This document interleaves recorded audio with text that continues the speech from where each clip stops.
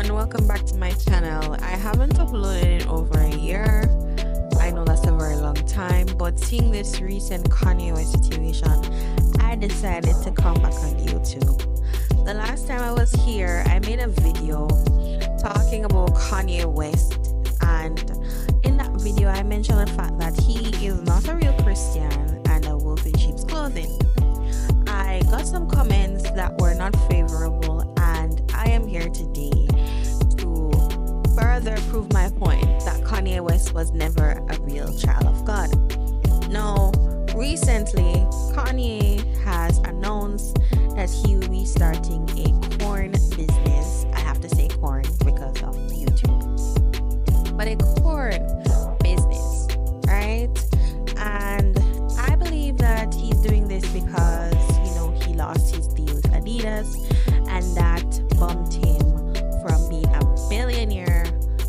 to being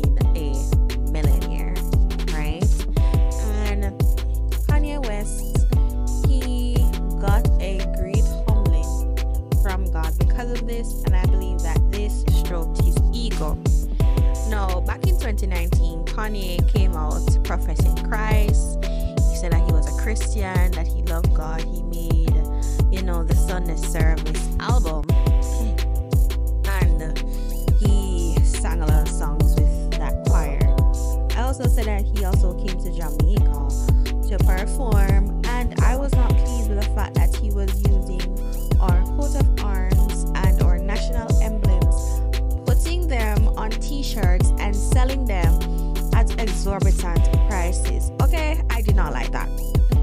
So I was always of the idea that he wasn't a true Christian based on his actions, based on the fact that he would still display old Kanye. You know, the Bible says that when, um, if anybody be in Christ, he's a new creature, he's a new creation, right? All things are passed away. Um, behold, God makes all things new. I'll, I'll put the scripture here. And so when you become a Christian, a true believer, you your old man, your old ways, your old pattern, once you're in pattern? Your old ways of thinking, your old habits, they die. And when Kanye said that he was a Christian, there were a lot of um, believers that actually believed him. And I was one of the few individuals that said that this man is not a true believer. And the Bible speaks about wolves in sheep's clothing and people who are, are wolves that come amongst the flock. And 2024, it is being revealed that he was just a wolf in sheep's clothing. The thing is, is that you have these artists, Justin Bieber's, the Kanye West of the world, many artists that they use the gospel because they realize that Christians, one, they're very accepting. Christians, a lot of people who proclaim Christ, proclaim Christ, and proclaim to be a child of God, they don't read their scriptures and they don't know that the Lord said that we are supposed to be watchful because He sends us out as sheep among wolves and the enemy. He is like a roaring lion to see who he will devour. And because they're not aware of these things and that they're engaging through spiritual warfare pretenders coming in trying to seep into the church, seep into the body, seep into real Christendom, they fall for it. And then when he he he comes and he says, "Oh, um, I am God." Um, let me play the, the clip where he says that he is God and and um he doesn't like Jesus or believe in Jesus. I'm gonna play it right here. Cause I'm God. And anyone to disagree, I'm the God of me. And you can't tell me who I am. It's another thing I don't like in Christianity, the fear of God. If God is love, why should you fear him? Because you place one fear, you get another fear, you get another fear, what do you have at that point? You're easily controllable. You're easily sellable. You're easily contracted because you have this fear on you. Like everybody gonna die eventually, but I'm gonna live my entire life with zero fear. fear of a contract, fear of perception, fear of getting my black card denied. Ain't nobody finna tell me shit, call me shit, call, tell nobody around me shit, play with me, play with nobody around me. None of that. It's from straight from Pink Polo. I got a chip on my shoulder. I'm the lawyer from Carlito's Way.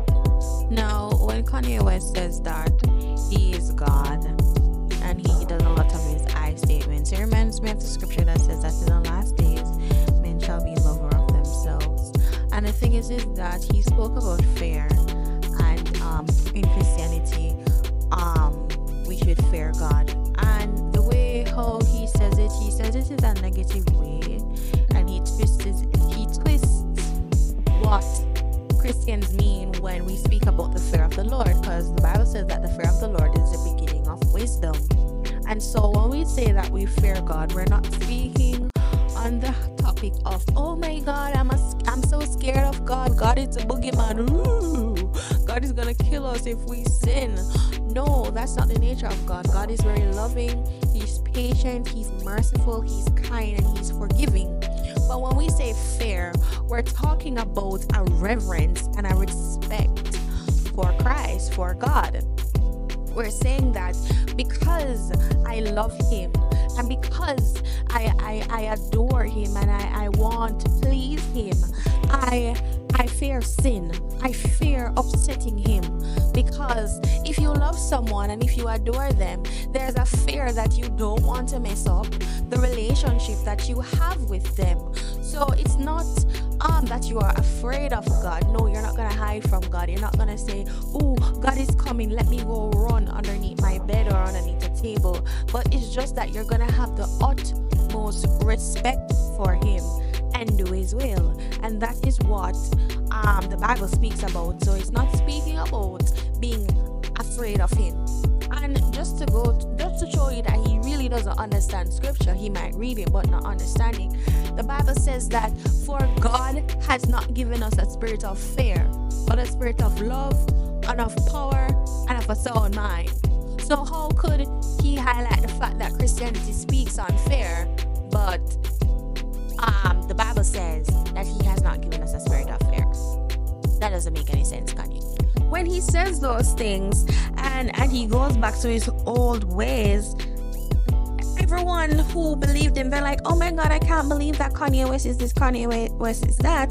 Well, if you had read your scripture, you would have known that he wasn't a true man of God. And you know, the Bible says that when a demon is cast out, right? And he goes about seeking rest and he doesn't find any. He goes back to the original place and says, Let me go back to my house. And he brings back seven demons, seven worse spirits with him right?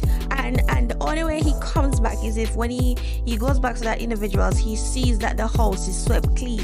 What does it mean? It means that when someone is being delivered or has received deliverance, if that person doesn't retain the scriptures in their heart and retain the Holy Spirit, and that that that that evil spirit that has been cast out doesn't find rest, it comes back and returns with seven worse spirit. And if that spirit sees that that individual hasn't retained the knowledge of God, hasn't retained or maintained their deliverance, they're going to take over that individual. And this is what has happened with Kanye West. Because Kanye was always bad, you know, he was always crazy, he was always had that narcissistic Jezebelic spirit, but now he's gotten worse. For example, look at his wife, his his new wife, um, what's her name, Bianca. Censori or Bianca, if I'm pronouncing it wrong, um, let me know the correct name. But his new wife, look at how he treats her. And I'm gonna do a separate video on that because um, Kanye West is not a husband. he's married, but he's not a husband, right? He treats her like uh, garbage. Look at how he displays her as if he's angry. Like it's so demonic. And then she allows it because if she really had self respect, she wouldn't have allowed Kanye to have her on display. You've seen her butt cheeks, you've seen her walking up and down with a pillow, you see her in all sorts of stupid, weird, exposing, revealing clothes or revealing items because I wouldn't even call that clothes nor fashion. And a man who is a true husband and he's a true man of God would not have his wife being exposed like that because guess what? God says that if a man doesn't love his wife, he doesn't love himself. Because remember, you know, when you are married, you are joined to that person, and the two of you guys become one. So how you treat the part your partner, um, it speaks to how you treat yourself, and it shows that Kanye West doesn't love himself. No, with the fact that he is starting this corn business, it shows that his pockets are desperate. I mean, we all know the negative impacts that corn has on society and the thing is is that in the past he spoke about how he struggled with corn addiction and he struggled with corn and it and it um affected his marriage and it affected his relationship so why would you go back to the very thing that um you know that was destructive in your life, it's going to destroy you even more. And he is going to run himself into a muck. Mark my words.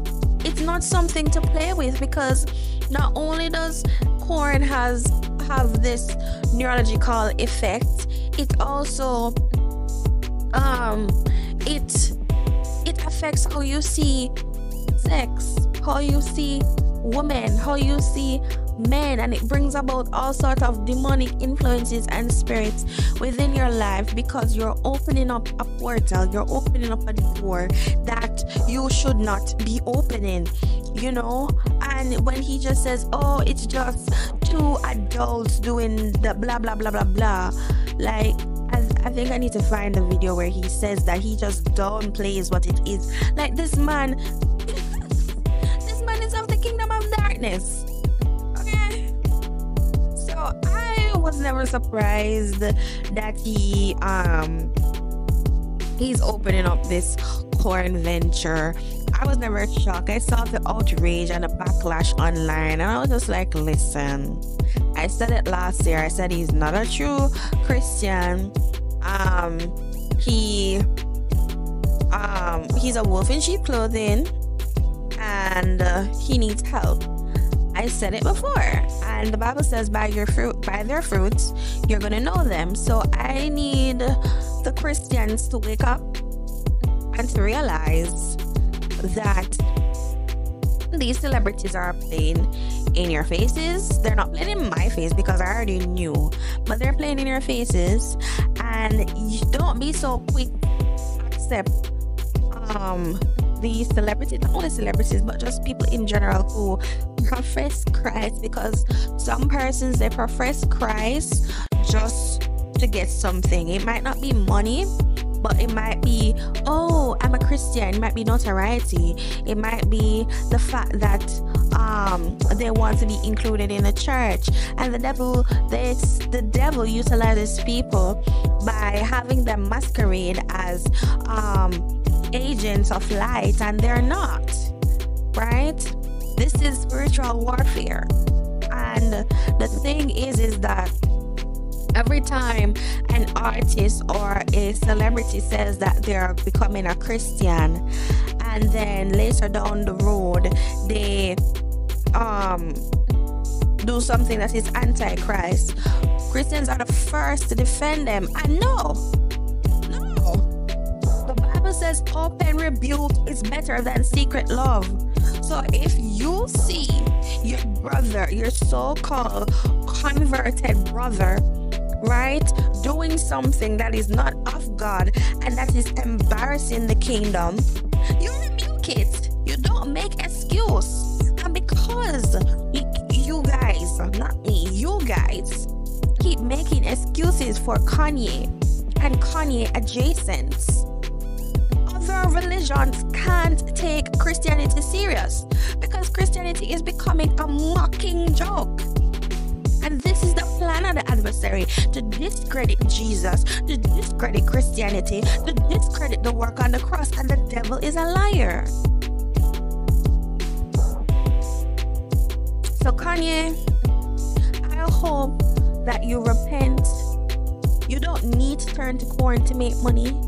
You made your money through music, merch, Adidas. You can make it otherwise. I hope you see the light and I hope you see that if you go down through this venture, you're opening up your entire world to more demons. And the fact that you're going to include your wife in the venture and sign your wife? Nah.